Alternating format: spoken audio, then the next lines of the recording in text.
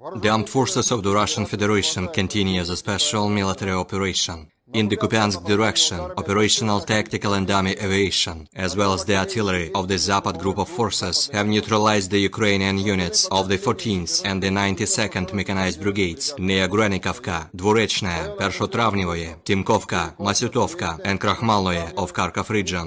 More than 80 Ukrainian servicemen, 6 motor vehicles and 1 D-20 howitzer have been eliminated.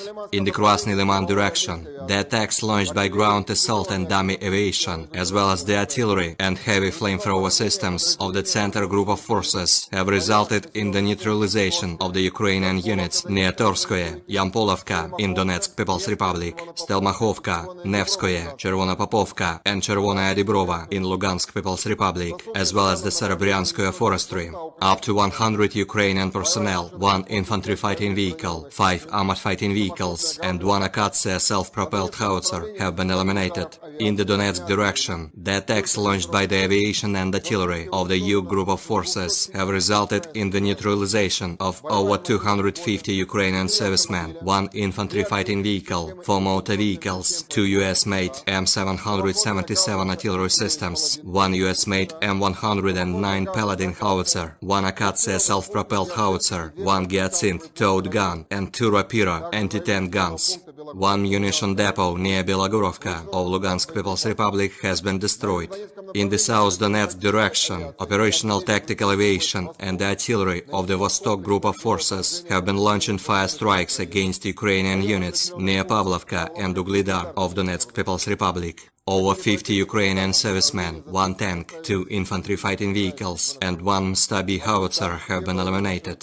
Two Ukrainian ordnance depots have been destroyed near Yelizavetovka of Donetsk People's Republic and Druzhelyubovka of Zaporozhye region. In the Kherson direction, in the course of counter-battery warfare, one Gvozdika self-propelled howitzer, one Akatsiya self-propelled howitzer, and one US-made AN-TPQ-50 counter-battery radar station near Kuybyshevo of Kherson region have been destroyed.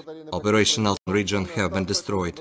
Operational tactical and army aviation, missile troops and artillery of the armed forces of the Russian Federation have neutralized 78 Ukrainian artillery units at their firing positions, manpower and military equipment in 119 areas. One Ukrainian OSA AKM anti-aircraft missile system has been destroyed near Krasny Liman in Donetsk People's Republic. As a result of high-precision missile attack launched by the Russian aerospace forces, the Ukrainian workshops for assembling armored vehicles near the Malyshev machine building plant in Kharkov have been destroyed. Air defense facilities have shut down 17 Ukrainian unmanned aerial vehicles near Fomovka, Vladimirovka, Poltava, Golikovo, Pshenichnoye, Kolomichiha, Nizhnya Duvanka, Lysychansk of Lugansk People's Republic, Oktyabrskoye, Nikolskoye, Terny, Blagoveshchenka in Donetsk People's Republic, Rabotino, Ryutnoye, and Pologi in Zaporozhye region.